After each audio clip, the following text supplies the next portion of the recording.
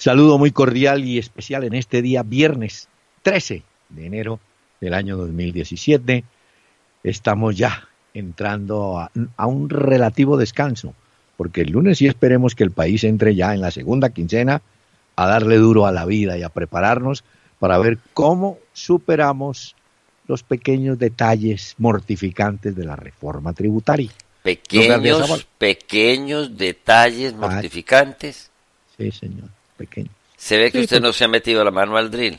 No, sí, ya, ya Fenalco sacó el dato que ah. la canasta familiar va como en el 20%. No, el problema más. no es todo lo que a usted le suba. Ah, bueno. El problema es cuando usted va y empieza y voltea a mirar la cuenta del restaurante y dice, ¿esto por qué me vale tanto? Ah, 19% no. por ese lado. Cuando usted comete la imprudencia de ir a jugar, eh, ¿cómo se llama esto? ¿Qué? El baloto. ¿Sí? Y entonces le dicen, no, ya no vale 7.500, vale 8.000 por el impuesto. Sí, pero entonces le van a contestar, como usted tiene ese vicio de jugar, páguelo. No, ahí no, está, ahí. pero sí, claro. estoy, le estoy mostrando detallitos mínimos. Ah, bueno. Detallitos mínimos. ¿Y no ha comprado pasaje? No, están ofreciendo, hay ofertas de que bajan pasaje. Sí, pero en Viva Colombia. Ajá. Porque en el resto todas se subieron, porque obviamente tenían que subirse. Claro. Por ley. Señor. Ah, señor, es viernes. Ay, hace poco desapareció un cantante que fue y sigue, seguirá siendo por mucho tiempo un, un ícono de esa música tropical, rumbera, buena, chévere, el loco Quintero. Gustavo Quintero con un tema inolvidable, lo traemos, la ramita de Matimbá.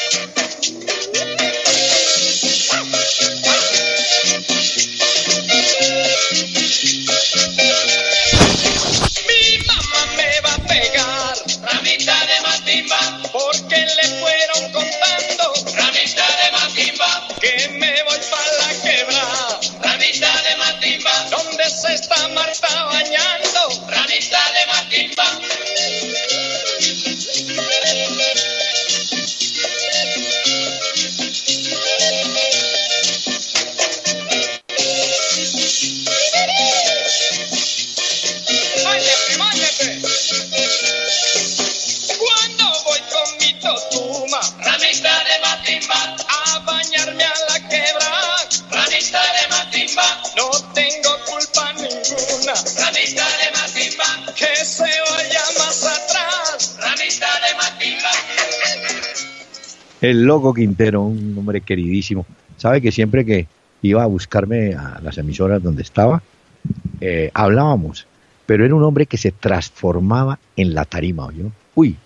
Sí, era como un cabañas, cabañas Sí, en el micrófono. Exactamente. Un tipo, bueno, de un sentido de humor, de alegría, de con- contagioso en su estilo el loco Quintero, con esta ramita de matimba. Señor, eh, le tengo un dato. Dígame. ¿Usted cuando desayuna le pone a la tostada Nutella? No, no, no, eso se lo ponen los zombies de ahora.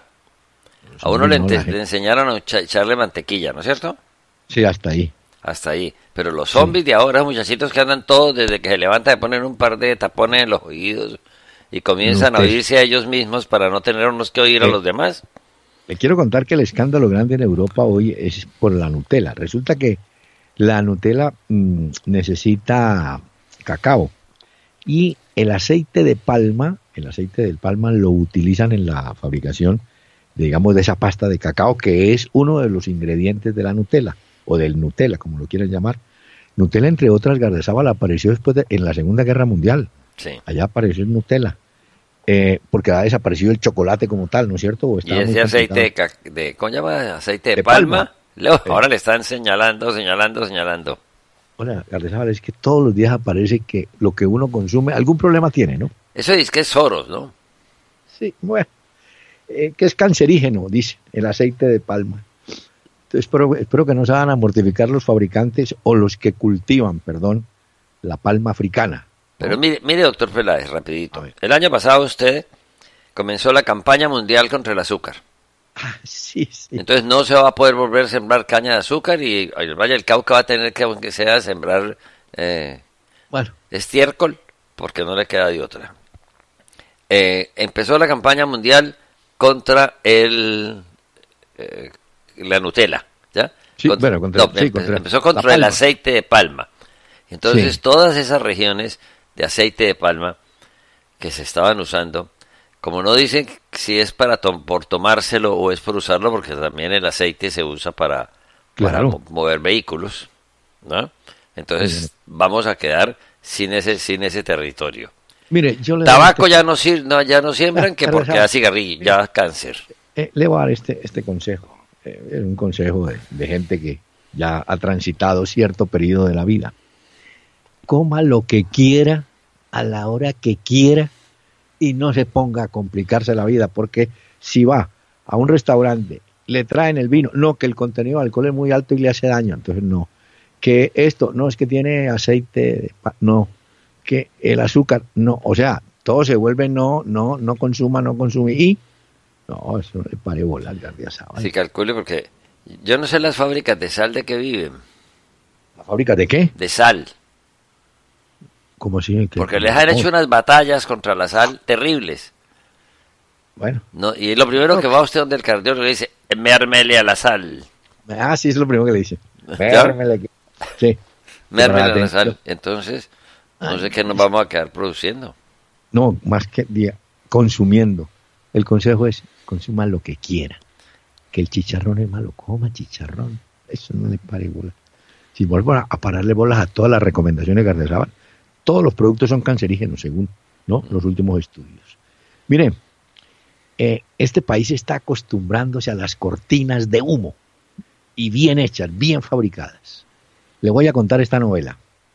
Hace, hace que dos, dos o tres días, Char en Barranquilla acusó, señaló a la policía de incapacidad para controlar la inseguridad, para atacar a la inseguridad. ¿Correcto? Y dijo que 1.200 policías se encontraban de asueto. Muy bien. Al otro día el comandante de la policía de esa zona dijo no, estamos trabajando, en fin. Y entonces hoy, tercer día, aparecen 544 cámaras nuevas de vigilancia y seguridad para Barranquilla que las va a entregar el señor Santos. Entonces me entendió la película, ¿cómo la montaron? Claro. Ah, es que eso es una...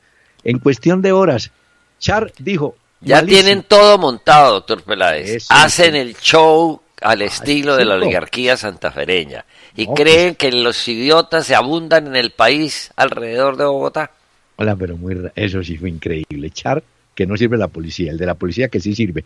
Y hoy aparecen 544 cámaras que le entregan a Barranquilla para qué? Y Control. espérese que cometan la indelicadeza y peligrosidad de elegir a, a Naranjo. Espérese. Ah, no, no, espérenme, de eso vamos a hablar ahorita porque le quiero preguntar.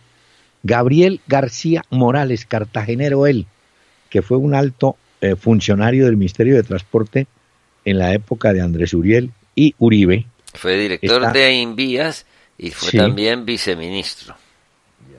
todo porque Odebrecht sí pagó seis y medio millones de dólares. No, no digamos que pagó, donó, regaló, sobornó, entregó. No, no, ¿Y este no. señor? Hizo un intercambio de una firma por una plata. Eh, una adjudicación de un contrato, dice usted. No, se llama una firma por una plata porque es que ahora la estructura tarifaria de este país se fue haciendo por firmas. Entonces, la firma del juez, la firma del secretario, la firma del gobernador, la firma del alcalde, la firma del ministro, Bueno. la firma del viceministro. Son las firmas caso- las que valen.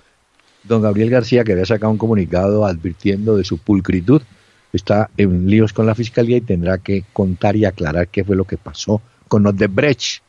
Pues bueno, ya eso va a aclarar muchísimo, doctor Peláez, porque como vimos, de acuerdo a la tabla comparativa, en Colombia pagaron muy poquito los de Odebrecht. Ah, muy poquito. Sí, pues, y aquí en este negocio, pues que ese es del escándalo, solo se pagaron 11.5 billones, millones, Millones, millones. de los cuales siempre se dijo que 6.5 habían sido para el ministro y 4 para el intermediario. Y hay cinco, esos del ministro están también repartidos en otros cuatro funcionarios, cuyos nombres no se revelan porque el nombre duro es el de Gabriel García Morales. Ahora, Líder, eh, cabeza del... Odebrecht, en no sé dónde, donde pagó ochenta y pico millones, ya los devolvió para poder seguir trabajando. Aquí tocará hacer lo mismo. Gardiazabal, eh, tenemos que felicitar, autofelicitarnos. Mm. Porque ¿cómo le parece que el día 11 a las 11 y 11 en Noruega clausuraron, le dieron cristiana sepultura a la banda del FM para radio y entraron en la era de radio digital que algún día llegará a Colombia. La ventaja que tiene la, la banda digital, las dos ventajas son mejor sonido, un poquito mejor que el FM, pero le permite la mayor cantidad de emisoras a la banda. A ver si me explico. Una banda tiene el 100.1, ¿cierto? Sí. Puede tener el 100.2, 100.3, 100. ¿Me entiende? Entonces, hoy en día, por ejemplo, en Bogotá, las frecuencias FM terminan en 9, 100.9, 101.9, 102.9. Y entonces, ese trayecto en la radio digital lo van llenando con otras estaciones. Entonces, por eso nos adelantamos a meternos al cuento del Internet, al podcast, a todos los tuiteros, en fin. Eso es lo que nos permite llegar cada vez a más gente. Y sobrevivir, como diría el poeta. Miren, Ujú. hablando de poetas, libro del día en este viernes. ¿Usted recuerda a Olguita Bear? Sí, señor. Olguita Caleño. Bear fue mi alumna en los tiempos remotos en que dictaba yo literatura en el Colegio Hebreo de Cali.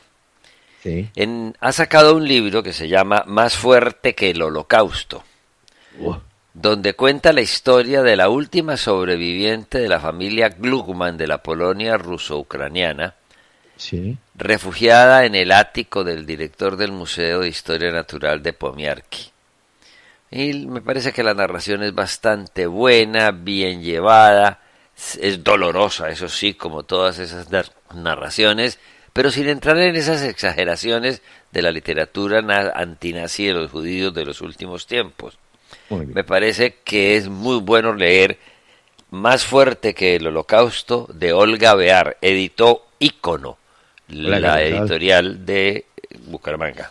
Sabe que de la lista de Schindler, la famosa lista de Schindler, que fue llevada al cine, hay dos sobrevivientes. Uno vive en Buenos Aires y el otro señor creo que vive en Miami. Son los únicos dos, ya bordeando los noventa y pico, los casi 100 años. Bueno, ¿verdad? Sí, tenemos que entrar al baile. Esta mañana le mandé el siguiente Twitter. No perder la pista a Reficar y su despilfarro y hablemos de la mano de derrumbes que azotan las que azota las vías principales. Eh, esa del Lobo Guerrero, eso es recurrente, ¿no, Gardezábal? En canoas, ¿no? Vea, lo que pasa, doctor Peláez, vamos por partes. Carreteras primero. Sí. En la vía de Lobo Guerrero, el derrumbe se presenta permanentemente y es el que están trabajando desde hace más de ocho meses y que ha movido la mayor cantidad de tierra que se haya movido en Colombia para tratar de garantizar que por esa orilla sí se podrá pasar algún día. Eh, Vargallera se ilusionó mucho y dijo que en seis meses estaba, pero no se ha, creo que ya se ha dado cuenta de que mover esa cantidad de tierra es remover 10 o 15 veces más porque un- empujan un poquito y viene el resto. La segunda, y eso interrumpe el Búgalo Guerrero. Sí. La El segunda Paso Buenaventura. el Paso Buenaventura. La segunda es la de Copacabana en Medellín, que Bogotá. interrumpe la autopista Bogotá-Medellín, que va a Guarne primero. Entonces, eso tiene completamente frenado el desarrollo de toda esa región del norte del Valle de Aburrá.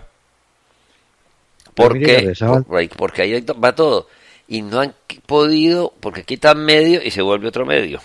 Sí, pero es que mire, eh, vi la, o, oí una queja de una persona que tiene por qué saber y dicen, bueno, en el caso de Lobo Guerrero, sí, remueven la tierra, habilitan el paso, pero el problema es que mientras no construyan talud, formas de aguantar el, el cerro, es vuelve y se repite, vuelve y se da.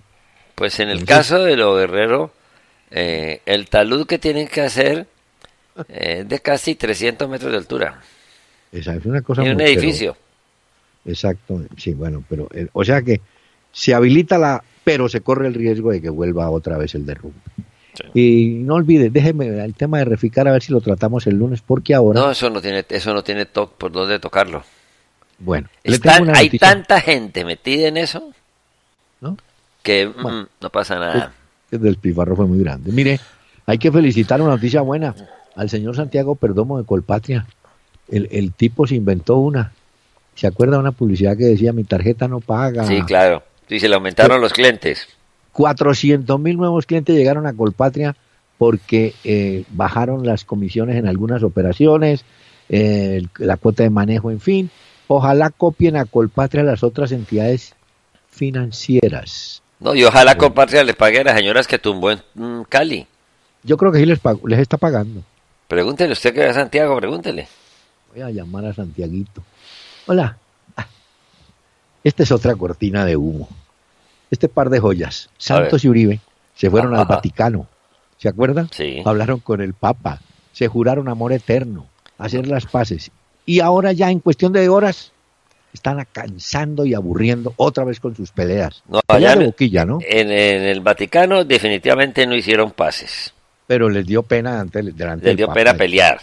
Eh, sí. Exactamente. Pero acá vinieron, eso le pasa a la gente cuando pierde la, la dignidad en el puesto. Entonces consideran que sus amigos, sus gobernados, sus seguidores, tenemos que aguantar cualquier mal olor que tengan en el aliento.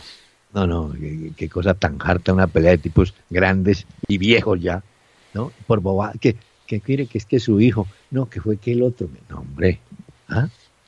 falta de oficio yo. Mire, no, mm.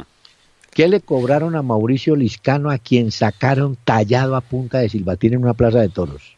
doctor Peláez, el doctor Liscano goza de una especial antipatía.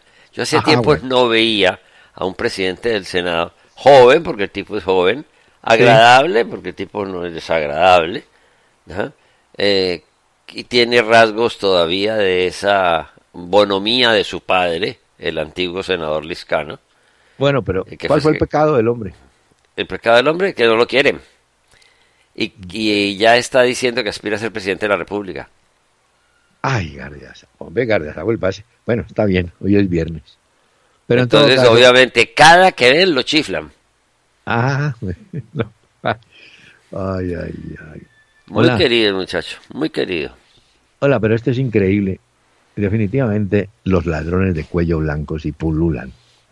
Fue alcalde de Manizales. Hoy en día es gerente de la industria licorera de Caldas. Luis Roberto Rivas otro inventor de pirámides, Gardiazabal. No, no hay derecho, hombre. ¿Ah? Doctor eh, Peláez, hace seis, ocho años, cuando meneábamos todas las tardes denuncias, saqué a relucir esta situación de este caballero. Rivas. Yo personalmente me reuní con él para que me explicara lo que todo el mundo estaba diciendo. Su explicación no dejó satisfechos a muchos. Y puedo decir algo que es doloroso. ¿Qué? Quienes hoy podrían contar en qué consistió la pirámide de Luis Roberto serían Luis Luz Marina Zuluaga, ex Miss Universo, y su esposo, el doctor Vélez. ¿Sí? Sí. ¿Por qué? Porque ellos fueron los grandes tumbados y parece que su muerte se precipitó porque no resistieron la pena de quedar pobres. Hola, Gardesábal. Este Roberto Rivas, Rivas tendrá vergüenza, tendrá dignidad de decir, mire, me retiro de la industria licorera de Caldas y voy a aclarar el tema o a responder por las pirámides. No, no, pues, pero si es que después de que hizo lo de las pirámides, volví y se presentó candidato a la alcaldía. No, por eso le digo. yo volví, saqué a relucir y dije, pero hombre, ¿cómo es posible que Manizales consideren esta opción? Bueno, para que vea usted. No, no, que hay una vergüenza. Luis Roberto Rivas. Hola, Gardiazabal. ¿Usted fue de los ingenuos o era de los ingenuos que creía que Santos, cuando eh, cambiara a Vargalleras, iba a nombrar a uno de la oposición? No, no, no, no, no, yo por el contrario creí que iba a nombrar a uno del Sobaco, así como nombró el Banco de la República, el doctor Echavarría. Ah, Pero el error, que, el error que comete Santos con el país es gravísimo, peligrosísimo, doctor Peláez. Sí, doctor Peláez. Naranjo es el Chávez de Colombia. Tanta pánico que tienen los uribistas y la gente del castrochavismo. Chávez, es la versión de Chávez a la colombiana es naranjo. Todos los elementos los tiene a disposición. Y los estaré enumerando en los próximos días Bueno, pero mire- para que evitarle al presidente Santos que cometa ese error. Pero mire, ¿por qué no lo quiere la DEA a Naranjo? Como por lo que no lo quiere la policía. Ah, por los procedimientos que ha empleado a lo largo de su vida, porque solo fue comandante nueve meses en Cali y dejó el índice más alto de homicidios. El resto de tiempo se la pasó siempre en puestos de escritorio. Bueno, porque es este puesto- intrigante, pero sobre todo no lo quieren, doctor Peláez, porque a todos, a usted, a mí, que somos los más pendejos, a todos, el señor Naranjo nos tiene como J. Edgar Hoover, el del FBI, un folder. Bueno, mire. Y entonces sabe cuándo nos metemos el dedo a la nariz y cuándo nos lo sacamos. Bueno, señor, mire, póngale cuidado. Yo entiendo que ahora hay un viraje en la función del vicepresidente. Vargas Lleras estaba dedicado a entregar casas, ¿cierto? Vigilar obras, ir a...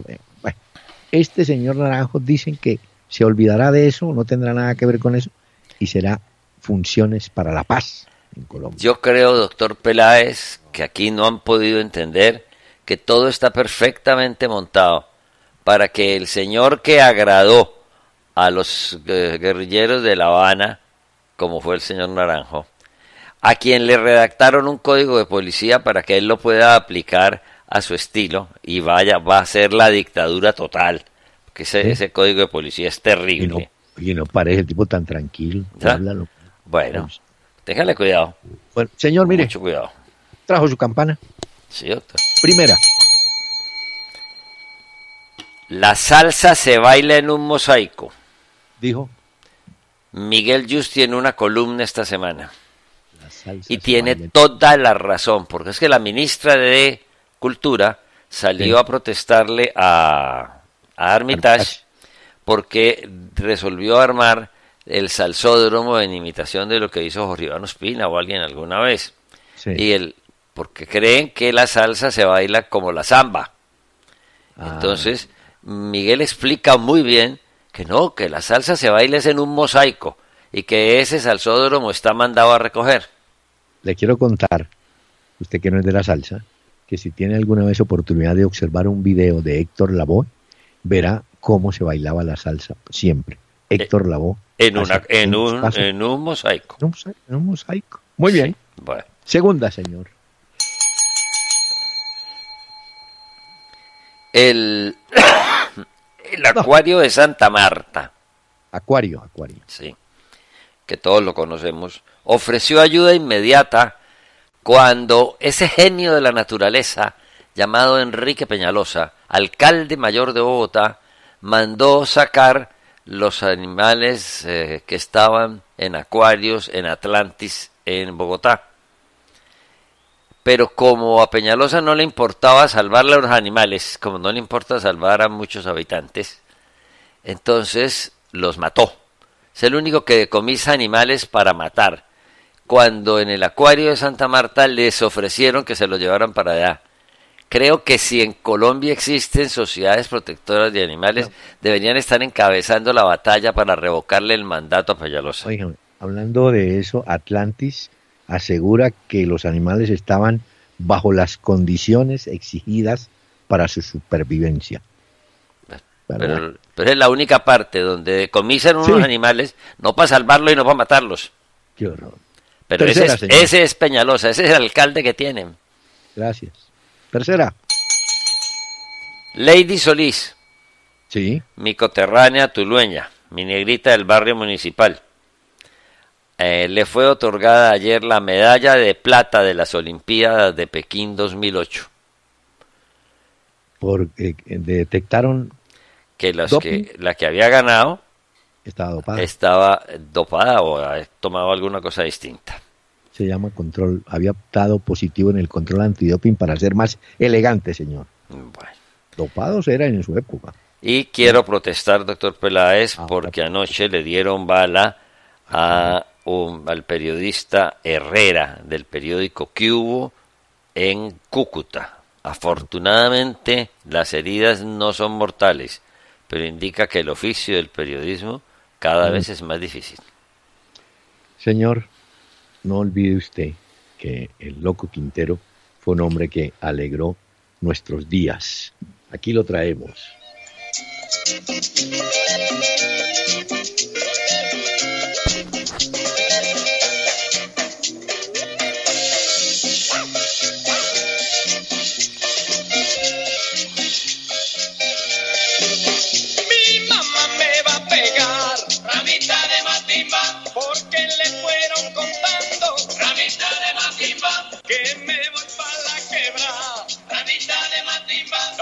Se está Marta bañando, ramita de matimba.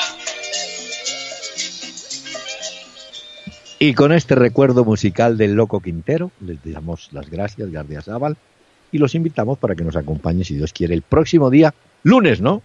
Sí, doctor Peláez, feliz fin de semana para todos. Disfruten, disfruten, y no se restrinjan con el tema de la alimentación, que tiene azúcar, que tiene sal, que tiene aceite, que esto, que lo otro. No, no, no, no, se compliquen tanto la vida.